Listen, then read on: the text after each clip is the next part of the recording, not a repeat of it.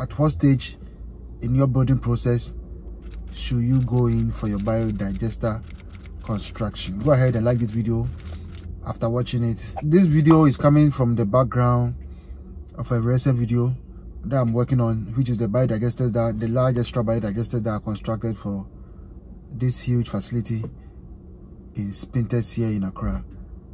And it's coming from the fact that when I showed up on site to do the assessment and do and sign the contract and reach the agreement I had to tell the property owners that it's best they do plastering before the biodigester is constructed.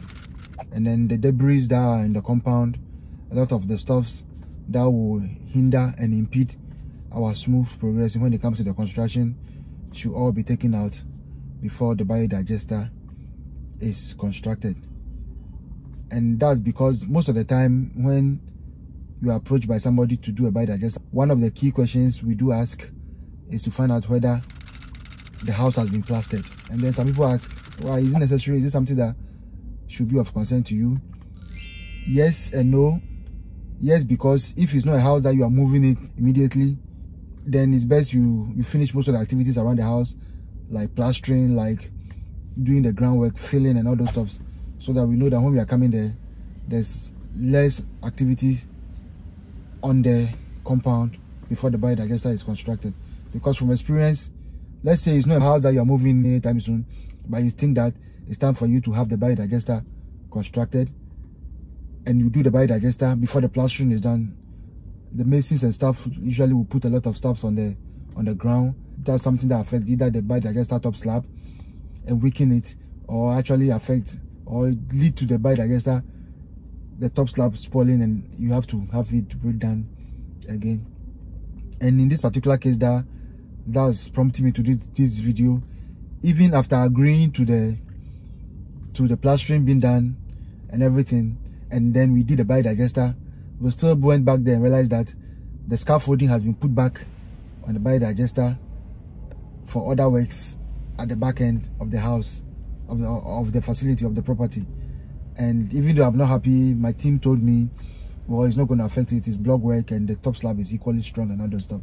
Of course there are certain instances where biodigesters or a construction of biodigester must happen because the homeowner is moving to the place and then they need a biodigester done despite all the problems and the situations that are on the ground when you showed up there like plastering not being done or like the filling not being done and other stuff so in the final analysis you as a constructor must take into account how the final house outlook is going to be like how the filling is going to be done so that your biodigester does not disappear completely when the filling and everything is done. And then you must also try and get a location whereby if later activities happen and then there are construction activities that happen on site it's not going to affect your work in the final analysis. I, I do know from experience because there are times that i've done bio digester construction i've put in my best work i've done a complete job. And then when the family was ready to move into the facility i was called to come back and redo the top slab again or reconstruct the biodigester completely because it has been broken down by an activity that wasn't part or that was no fault of mine it was either the fault of those who are also coming to work at the facility or simply because somebody was doing plastering and then they did not take care of what was there and then they put slabs on it they put other stuff they put heavy metals and heavy materials on it and then it affected the biodigester in the long run. And i was called to have to come and have it redone so all those things go in a long way to inform sometimes the decision that we make or we take as constructors to have the writing done and then so that it doesn't cost you a lot. Because sometimes when you're called back to come and have some of this work done you're not going to get paid for it. Because you did not tell the homeowner when you were doing the construction that look if i do this stuff if i do the construction at this time these are some of the repercussions that will come out when you decide not to use it immediately or because you also come to do other stuff there. So my advice from experience is what i'm giving you. If you're a biodigester constructor or you're somebody interested in having a biodigester constructed for your house. Minimize the activities on the compound. Activities like plastering activities like filling activities like taking debris out of the compound. It's best to have all those things out of the compound before you construct the biodigester it lessens the the drama that comes later. It lessens the problem that you have when you have it done. And then because sometimes you get weakened and then probably you don't even call the digester constructor to come and look at it again and you are using it it will have an effect. The long-term use of the digester will be affected in such a situation. In other sense the outside work must be done but the inside work must not be done. If you are having the inside work done then the, the tiling on the ground should not be done around the toilet seats.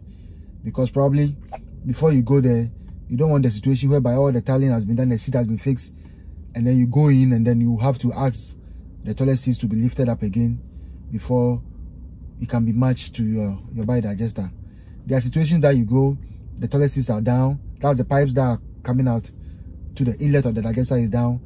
And you have to ask the homeowner to have it lifted up because one either the ground is not good and you cannot do a biodigester at that level you will not be able to match it to the drainage system or you, you will not be able to get enough depth for your soak hole pit that must be done on the soak away so there are situations that you ask the homeowner do the tiling or do your accessories in the house but leave the toilet seats fixing. Don't fix them.